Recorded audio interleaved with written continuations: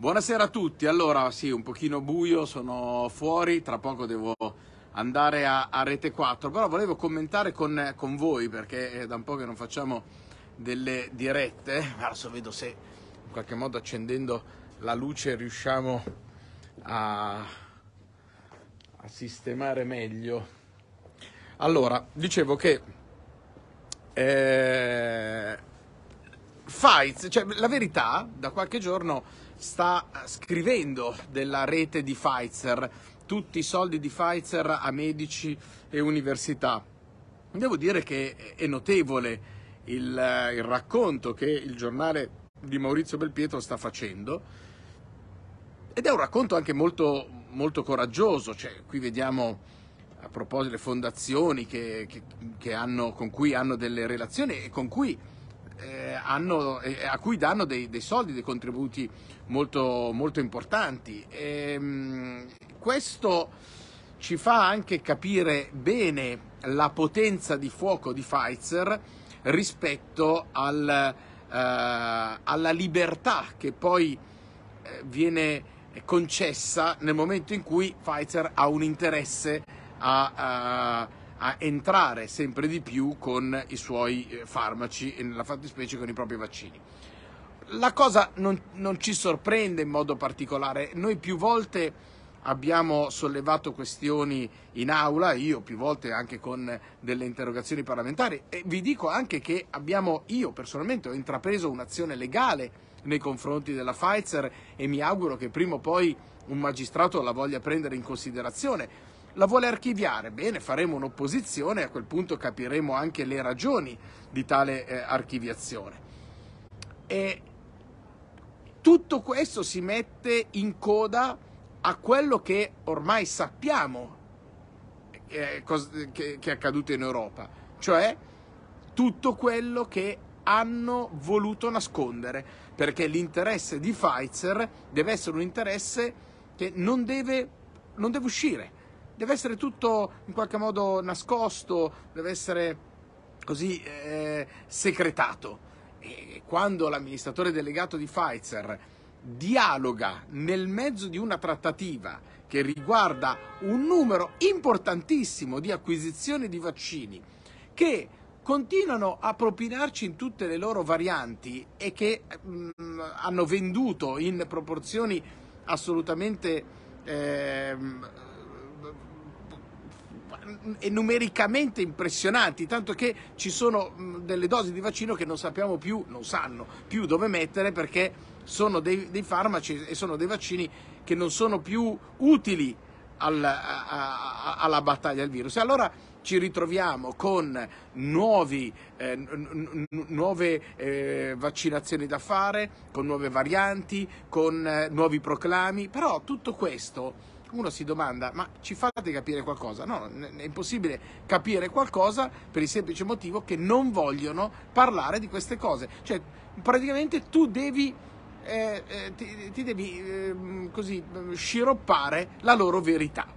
E la loro verità qual è? È quella che, seguendo il famoso insegnamento di Falcone rispetto alla lotta alla criminalità organizzata, tu segui il denaro, tu segui i flussi di denaro e ti dai una spiegazione a quello che sta accadendo. Allora, la verità in questi giorni sta facendo gli elenchi della rete eh, vicina a Pfizer, o meglio, del, dei soldi che Pfizer dà a eh, ospedali, fondazioni sanitarie ed altro, tenendo anche conto che Pfizer paga i giornali in un modo indiretto, non soltanto con la pubblicità, ma attraverso la convegnistica. Quindi quando si promuovono dei convegni sulla salute, sul Covid, sulle, sul dopo Covid, su questo e quest'altro, magari anche sugli effetti collaterali da vaccino e l, l, il principale sponsor o uno dei principali sponsor è Pfizer, capite che il conflitto di interessi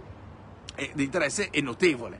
Allora, perché queste informazioni non potevano essere date fin da subito? Eh, perché nel momento in cui ponevamo delle, in, in Parlamento ponevamo la questione massimo silenzio. Io sono contento che adesso Sileri faccia la sua battaglia personale. Però quando io gli ho lanciato la, la sfida, la provocazione di venire a vedere con noi, con magari Fraiese, con Barbaro, il film eh, sui, danni, sui, danni, collaterali, eh, perché mm, che è invisibili? Perché si è rifiutato? Perché non si è neanche degnato di darmi una risposta e dire che io l'ho invitato personalmente, gli ho mandato personalmente l'invito per dire guarda, se la tua denuncia è autentica, allora quantomeno confrontati e ascolta le persone che si sono vaccinate perché o voi avete posto l'obbligo vaccinale e, e, e con quell'obbligo eh, praticamente era un ricatto per il lavoratore, oppure erano in buona fede e si erano fidati di quello che dicevano al governo. Allora ho detto, caro Sileri, visto che non sono i pericolosi Novax, ma è gente che si è vaccinata e oggi lamenta un effetto collaterale anche grave, perché non li vuoi ascoltare? Ma vale per lui, ma vale per tutti gli altri. Perché queste persone non vengono ascoltate? Perché i giornali, gli altri, non si occupano della questione? Perché deve essere soltanto un certo tipo di stampa?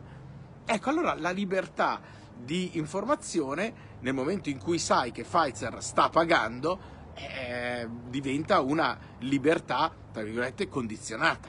È una libertà, diciamo, sotto, sotto mora. Ecco, ehm, questo è un po' il discorso che, che volevo fare.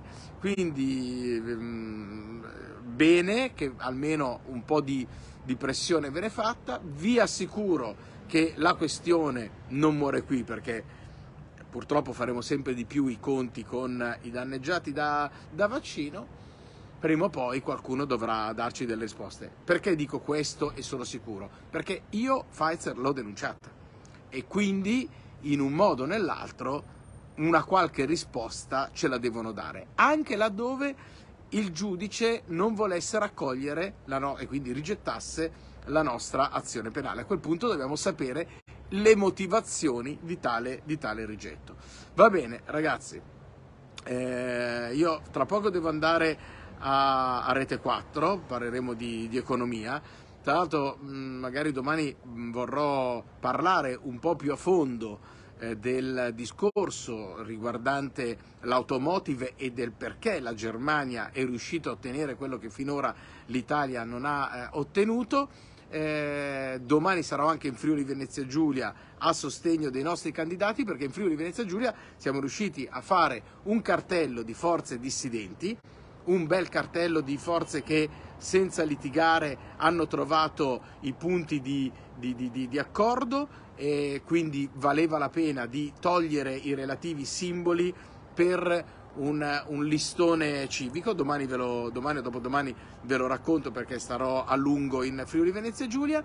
Io ora vado uh, a Rete 4, altrimenti faccio troppo tardi, e, uh, e ci aggiorniamo, va bene? Ciao a tutti per essere stati in collegamento con noi in diretta.